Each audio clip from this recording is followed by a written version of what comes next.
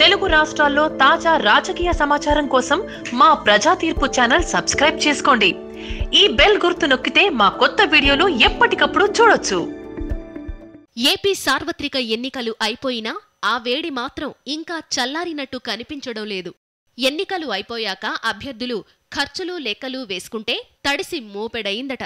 జిల్లాలో దాదాపు ఏడు వందల కోట్ల రూపాయల వరకు అభ్యర్థులు ఖర్చు పెట్టినట్లు తెలుస్తోంది.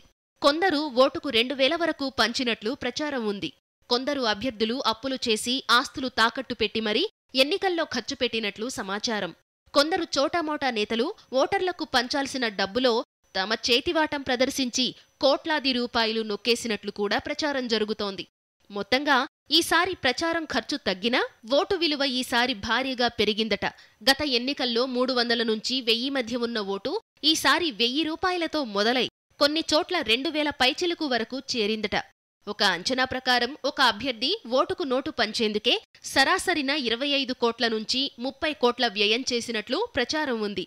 ప్రచారం నామినేషన్ నేతల కొనుగోలు ఇలా అన్నింటినీ లెక్కిస్తే ఈ ఎన్నికల ఖరీదు సుమారుగా ఏడు వందల కోట్లు ఉండొచ్చని అంచనా.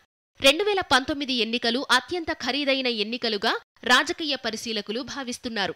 గెలుపు కోసం అభ్యర్థులు కోట్లాది రూపాయలు కుమ్మరించారు. పోటీ తీవ్రంగా ఉన్న దగ్గర ఖర్చు ఎక్కువైనట్లు తెలుస్తోంది. దీంతో కొందరు ఆస్తులు తనఖా పెట్టి అప్పు చేయగా మరికొందరు ఆస్తులమ్మి నిధులు సమకూర్చినట్లు తెలుస్తోంది.